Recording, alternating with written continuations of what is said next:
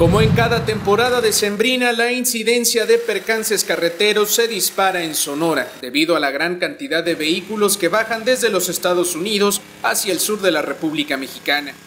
Es en estas fechas cuando usted se puede topar con el escenario típico de un accidente.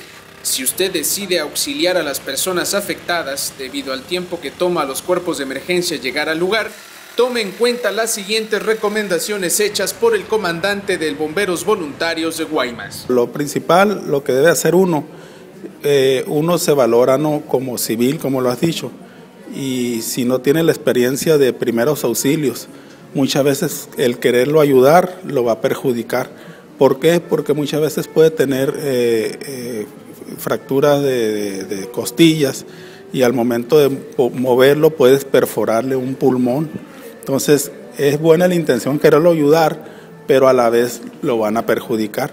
Entonces, aquí más bien lo que se puede hacer es tratar de reanimar a la persona, hablar con ella, de estarle dando consejos. Ahorita llega el auxilio eh, para que ella sea menos la, presión que va a tener del shock que tiene por el accidente.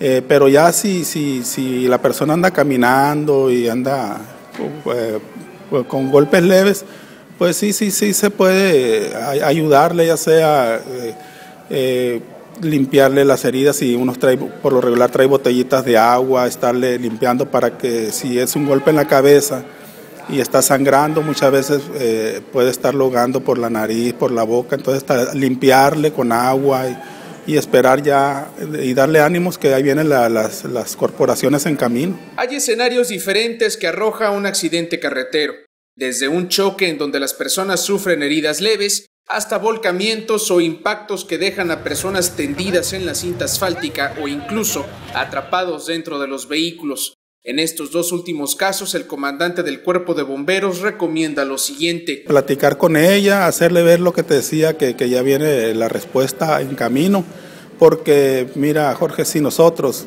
trayéndole herramienta eh, duramos algo de tiempo, no, no nos va muy muy lejos con la última persona que tuvimos que duramos una hora y media para quitarlo de prensado. Este, pero lo muy importante es estarle dando ánimos a la persona. Eso es, es, clave porque intentarlo sacar, como te digo, muchas veces es perjudicar. Entonces, más bien es estar eh, reanimándolo, reanimándolo este, y, y, no estarlo dejando que se esté viendo en las heridas cuando está él. Eh, la persona atrapada en el carro, ya sea eh, que ya ande caminando, que no, no, que no esté viendo sus heridas a la, que le provocaron el accidente. Depende de cómo quede la situación del carro, no muchas veces quedan arriba de la carretera.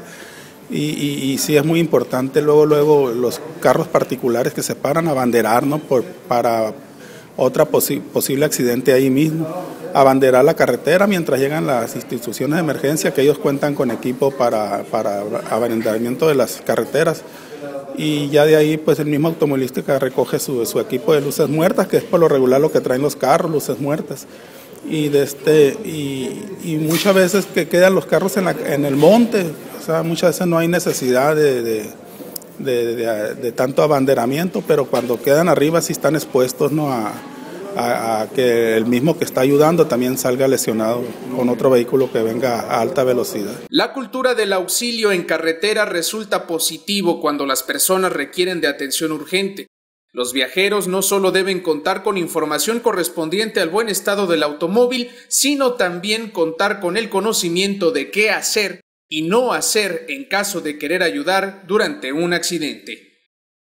Con imágenes de José Jiménez para Noticias de Primera, Jorge Carrizales, Radio Visa TV.